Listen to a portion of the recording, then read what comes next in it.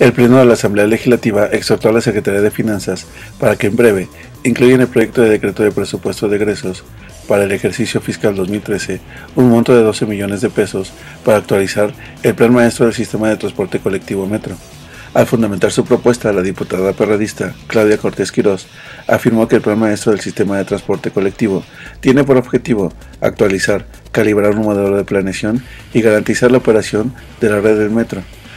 eh, vamos a exhortar a la Secretaría de Finanzas del Gobierno del Distrito Federal para que prevea e incluya en el proyecto de decreto de presupuesto de egresos para el ejercicio fiscal 2013 un monto de 12 millones de pesos para que se pueda actualizar el plan maestro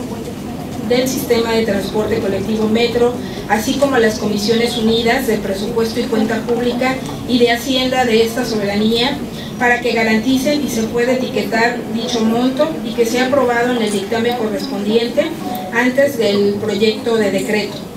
Eh, haciendo una remembranza debemos nosotros de recordar que la red del sistema de transporte colectivo Metro durante el periodo que va de 4 de septiembre de 1969, fecha en que se inauguró el primer tramo de la línea número 1, al 30 de noviembre del 2000, que se inauguró el tramo de la línea B, alcanzó una longitud de 201.3 kilómetros. Esto hace un total de 175 estaciones organizadas en 11 líneas denominadas con los numerales del 1 al 9 y con las letras A y B.